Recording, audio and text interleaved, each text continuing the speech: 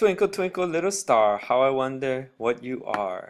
We've heard about that song, and the part about wondering what you are, you don't have to wonder so much anymore, because bam, I'm here to tell you as much as I can tell you all about stars. All right, so uh, let's get into it. I think this is going to be some stellar information for you. All right, so uh, closest star is the sun. We want to be able to examine these stars and look up into the sky and learn about astronomy. All right, so one thing that we know about stars is that they all have something called the absolute brightness. The absolute brightness is the total brightness. How bright is that star? Um, it's calculated by the total energy emitted per second. If it's low energy, it has a low absolute brightness. If it's high energy, it has a high absolute brightness. All right, that's the amount of energy emitted. Okay, so here is some examples uh, how you get, get it calculated. You have to calculate the temperature and the size of the star. So um, when you have these two factors, sometimes you can have a, a hot object that can have the same absolute brightness as a large cold object. Okay, so here are three different stars and they all are emitting the same amount of energy per second, which is means they all have the same absolute brightness. But this star is hotter. In astronomy, we kind of um, do it backwards where blue means hot and red means cold. Probably because astronomers are physicists and blue has a greater uh, amount of energy emitted in their light wavelengths. Uh, kind of complicated. Blue has a shorter wavelength.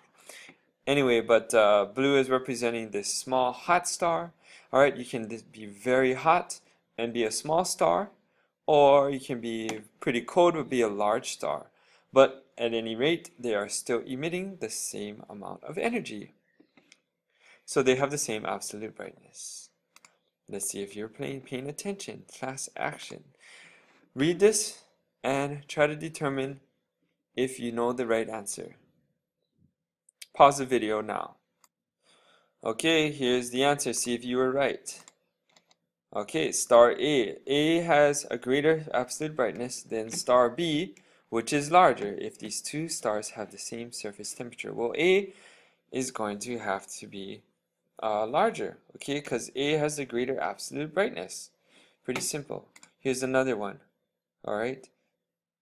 Read it and see if you are, then pause the video. All right, here's the answer. Antares. Okay, stars in Antares and Rio have the same absolute brightness. If Antares is cooler, then with Antares has to be the larger star because it has to be able to emit more uh, energy. The second thing that astronomers study when they look at stars, or characteristics that they study when they look at stars, is the apparent brightness. This is different than absolute brightness. Apparent brightness is pretty easy. It's what the star's brightness looks at apparent to the observer. Okay, astronomers call it luminosity. Okay, apparent brightness depends on two things, the absolute brightness and the distance.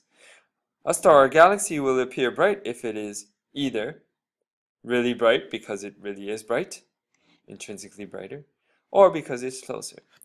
Look at this observer. This observer is observing a measly small little light from this bicycle. The measly small light to the observer looks so bright. Why? Because it's so close. But the observer doesn't know is that this truck has a huge bright light but since this truck is so far away to the observer, it's not that bright. So it's not very apparent that it's very bright. So it has, this truck has very low apparent brightness. Okay, even though intrinsically they are brighter. Intrinsically, this truck is brighter. Hmm, let's apply this to stars. Okay, we're talking about apparent brightness still. Stars A and B could have the same apparent brightness even though star A is intrinsically fainter. In the night sky, A is very faint light, but B is a very bright light. Okay? But to the observer, he could be seeing it as they are the same brightness. In order for this to happen, B must be further away. So if B, a really, really bright light, is far away, and A, a dim light, is close to the observer, A and B could look like they have the same brightness. We call this having the same apparent brightness. So apparent to the observer, A and B look the same. Ha! Here's something here. Apparent brightness increases when more energy is emitted and decreases with distance. All of these lights look like they have the same, um, they, they probably have the same absolute brightness, but apparent to the observer, these lights that are closer are going to look brighter than the ones that are far away in the distance. Class action, let's see if you understand. Try to think about this question by yourself. Two stars to appear to be the same brightness in our night sky. If one is closer to the earth, it must have what? Pause the video now. Okay, here's the answer. See if you know. Boom, it's number three.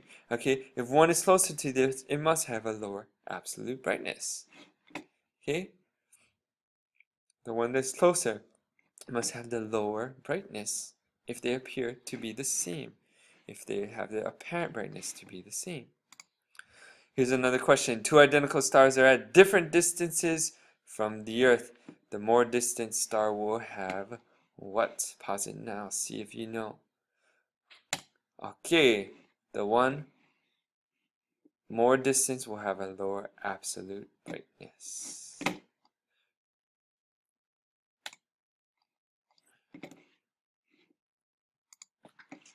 Okay, if you need to review, this is the end of what we've been talking about. If you need to review it, go ahead and read this, watch this video again. We learned two things. We learned about apparent brightness and absolute brightness. So I hope that I have, uh, I hope that uh, all these things are clear to you. Uh, I hope uh, as you study, it will become more apparent. These concepts will be become more apparent to you. Hey, good luck on all your studies in astronomy.